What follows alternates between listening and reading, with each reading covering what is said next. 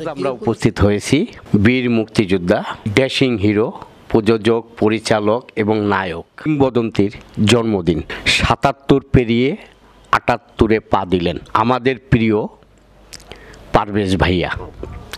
ভাইয়ার কাছে জানতে চাবো জন্মদিন নিয়ে নতুন কাপড় কাপড় চোপড় খাওয়া দাওয়ার একটা অ্যারেঞ্জমেন্ট ঘরোয়াভাবে আত্মীয় স্বজন মানে ভাই, বোন, সবাই ফ্যামিলির যারা আছে, একেবারে ক্লোজ যারা, তারা সবাই মিলে আয়োজন করতো সবাই হয়তো এই শার্ট নিয়ে আসতো, কেউ প্যান্ট নিয়ে আসতো।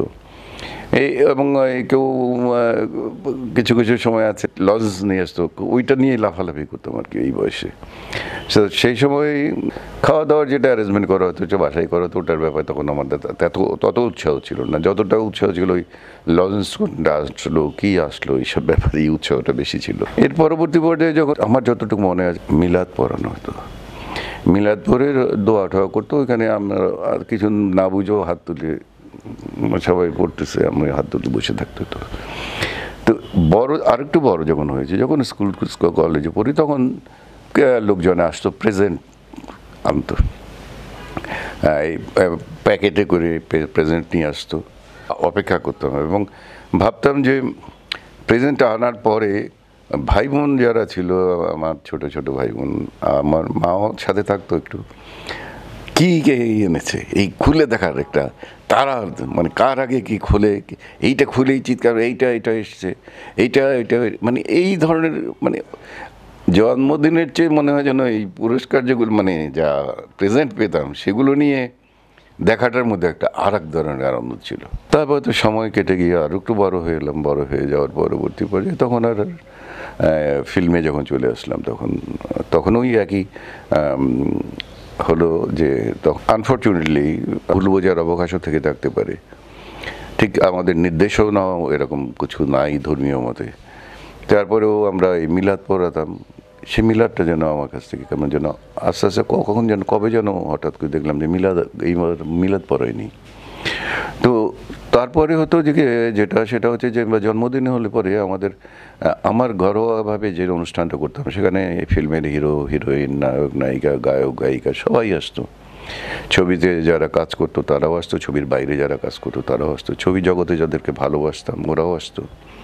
গায়ক, গায়িকা যারা আসতো তারা গান গাইতো অনেকে মিউজিকের ইনস্ট্রুমেন্টও নিয়ে আসতো, অনেকে এবার সে অনেক কিছু নিয়ে আসতো, গান টান গাইতো। হই মানে একটা, এবং গান বাজিয়ে নাচ গান নাচতো যারা, তারা মানে লাফালাফিও করতো।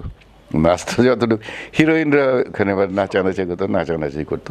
এই ক্যাটাগরির আনন্দ করতো এবং তারাও যখন তার পরবর্তী পর্যায়ে ওরা হয়তো কিছু অনেক সময় প্রেজেন্টেশন নিয়ে আসতো।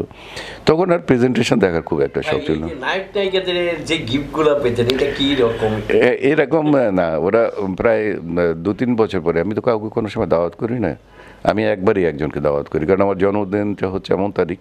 যে তারিখটা যদি বলে যে আমি তো ভুলে গিয়েছিলাম ভাই তাহলে আমি মনে করব যে তার লোক সাথে বন্ধুত্ব করার দরকার নেই। আপনার জন্মদিনটা সবাই কিন্তু মনে রাখে সবাই জানে একুশে ফেব্রুয়ারি। হ্যাঁ সেই। কিন্তু না, অনেকে যারা অনেকে আসে না। আমার সাথে সাথে তো অনেক কিছু বদলে যায় তাই না? তো আজকে তার পরবর্তী পর্যায়ে যারা আসতো তখন আর ওই পুরস্কারটা দেখার জন্য আর তেমন কিন্তু তখন আমার ছেলে হয়েছে ছে- ছে- বরঞ্চ ছেলে একটা ও বেশি বসে আব্বু তোমাকে অমুক এটা দিয়েছে আব্বু তোমাকে এটা দিয়েছে। এই আনন্দটা একটু অন্যদিকে চলে গেল। এবং তার পরবর্তী পর্যায়ে যখন হলো, তার আরও কিছু পরে সেটা আনন্দটা আবার আর এক রকম হয়ে গেল। তখন আর আনন্দ হলো না, কিছুটা আনন্দ এবং বিষাদ এই দুটার মাঝখানে চলে আসলো। অনুষ্ঠান করি, লোকজন আসে, গল্প করে, কথা বলে। But I don't feel very excited আমার খুব আনন্দ লাগে না।